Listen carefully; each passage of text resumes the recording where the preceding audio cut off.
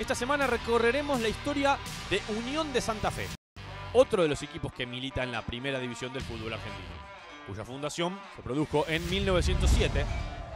Su estadio es el 15 de abril, con capacidad para 30.000 espectadores. Unión acumula 36 temporadas en la máxima categoría y su mejor actuación fue el subcampeonato del torneo nacional de 1979. Clásico entre Unión y Colón paraliza a la ciudad antes, durante y después de cada enfrentamiento. En primera se enfrentaron 55 veces y el Tatengue se impone 16-13 en el duelo directo.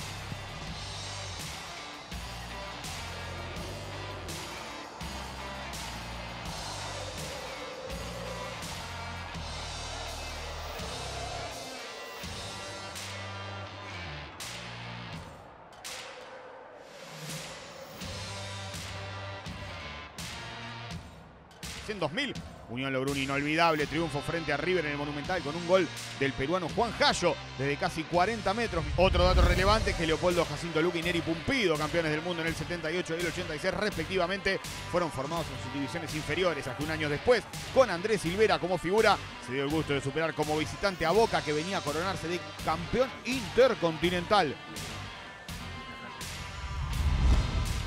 En 2014 Unión logró su último ascenso a Primera División y a partir de buenas campañas accedió por primera vez a competencias continentales en 2019 y 2020. Participó en la Copa Sudamericana y logró dejar afuera, por ejemplo, Atlético Mineiro y Emelec en dos series para el recuerdo del club.